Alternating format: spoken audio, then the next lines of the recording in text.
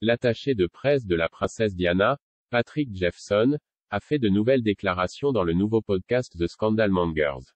L'attaché de presse de la princesse Diana, Patrick Jeffson, a affirmé que le personnel du roi Charles avait mené des campagnes de diffamation sur la santé mentale de la princesse Diana. Les affirmations ont été faites dans un nouveau podcast intitulé The Scandal Mongers, animé par les auteurs royaux Phil Craig et Andrew Loney.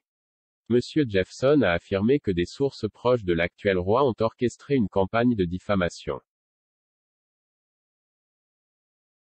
systématique contre son ex-femme, qui a fait de sa vie un enfer. Il a également affirmé qu'il était frustré qu'il soit devenu accepté que Diana se débatte mentalement, et a affirmé qu'elle faisait preuve d'une force extraordinaire compte tenu de la pression de la vie royale et de l'attention des médias après son mariage avec Charles en 1981. Phil Craig, qui a écrit Diana, Story of a Princess, a affirmé que ces briefings avaient eu un impact durable sur elle de la première épouse du roi, et a ajouté qu'il était l'aspect le plus méchant de la guerre des pays de Galles. Monsieur Jeffson a affirmé que la campagne allait au-delà des commérages occasionnels et était une campagne systématique. Il n'y a aucune suggestion que Charles était au courant de ces campagnes ou des preuves pour les prouver.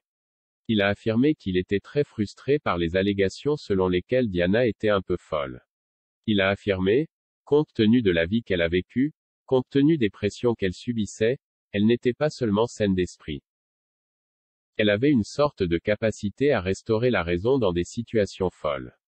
Il a également affirmé que Diana, décédée à l'âge de 36 ans le 31 août 1997, savait que le personnel de son ex-mari tentait de la discréditer dans la presse et l'utiliserait à son avantage. Monsieur Jeffson a affirmé qu'elle évoquerait son histoire avec les troubles de l'alimentation dans des discours lors d'événements caritatifs pour retourner la table sur ses détracteurs.